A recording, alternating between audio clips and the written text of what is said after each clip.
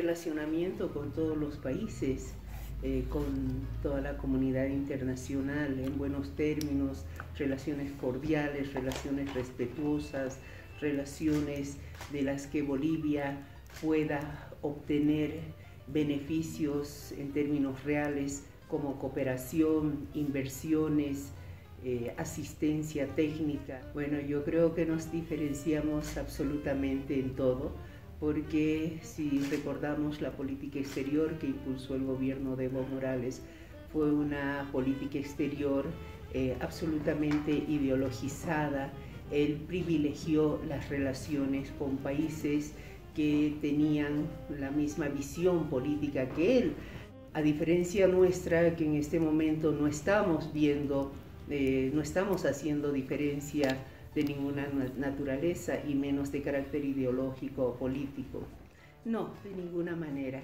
El tema es que eh, la relación con estos países como Venezuela, Nicaragua, eh, Cuba, estuvo orientada a beneficiar fundamentalmente a una corriente ideológica, a consolidar una corriente ideológica que obviamente tenía eh, un, proyecto geopolítico. Bolivia no se benefició absolutamente de nada en esos términos, en, términos, de, em, en términos reales. Yo ingresé a trabajar a la Cancillería el año 1980, cuando yo aún era eh, estudiante de la carrera de Derecho en la UNSA. Y de entonces para adelante no recuerdo eh, otro momento más difícil que el que estamos viviendo respecto a nuestras relaciones internacionales. Yo pienso que durante 14 años eh, el régimen de Evo Morales utilizó la Cancillería, utilizó nuestras embajadas y nuestros consulados más que como eh, mecanismos de relacionamiento internacional eh, que favorecían al país, utilizaron como centros operativos políticos para consolidar la imagen de Evo Morales en el exterior. Yo considero que, eh, y creo mucho en la conversación que he tenido con la ministra de Relaciones Exteriores de España. Ella fue enfática al decir que la Cancillería española y su persona desconocían eh, estas acciones en las que incursionó la ministra consejera y el cónsul de España. Entonces, al decir ello, nosotros, yo tengo, yo, yo, tengo la esperanza de que esto no ha sido parte de una política eh, autorizada ni fomentada por eh, la Cancillería española y menos por el gobierno español. No sabemos, eh, está ahí precisamente eso que tenemos que desentrañar. Desentrañará el Ministerio de Relaciones Exteriores de España en una investigación al interior de la Embajada de España y también lo desentrañaremos los bolivianos a, partir de la investigación que continúa realizando el Ministerio de Gobierno. Hay, hay, señales muy buenas.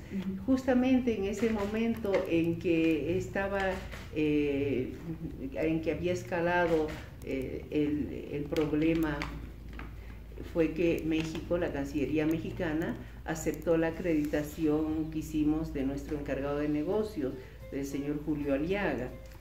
Lo ha acreditado la Cancillería mexicana, eh, está en permanentes reuniones sobre diferentes temas.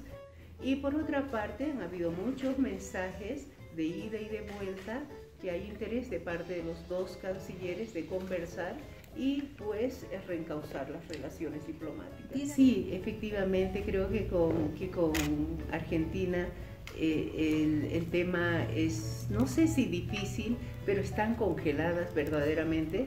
Yo no he tenido ninguna conversación con autoridades eh, argentinas, pero sí nuestro encargado de negocios en la Argentina, que es Julio Alvarado, ya está en conversaciones con ellos y seguramente en estos días también lo van a acreditar. El problema con la Argentina es que hubo cambio de gobierno y hubo mucha demora en la eh, reposición de nuevas autoridades, cambio de autoridades, reposición de autoridades y eso creo que ese cambio interno un poquito también ha perjudicado el que las relaciones no se activen inmediatamente. Eh, esa narrativa del golpe de Estado ha quedado absolutamente desvirtuada después de que la comunidad internacional ha tomado conocimiento que en Bolivia los poderes del Estado han seguido funcionando normalmente. La Comisión Interamericana de Derechos Humanos ha aceptado una nueva visita a Bolivia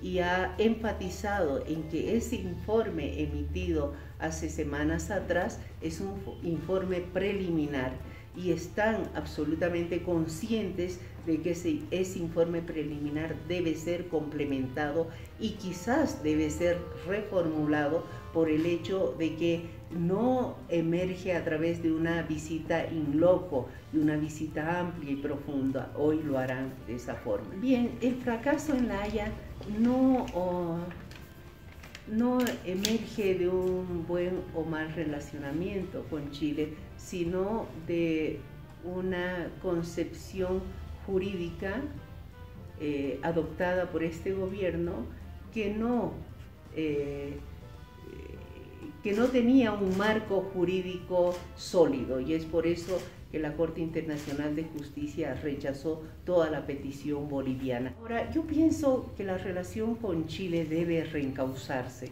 Es necesario fortalecer esa relación, eh, si es necesario inclusive eh, poder eh, elevar el nivel de esa relación, porque es importante mm, el tratamiento de otros temas que son pero eh, numerosos en la agenda entre Chile y Bolivia.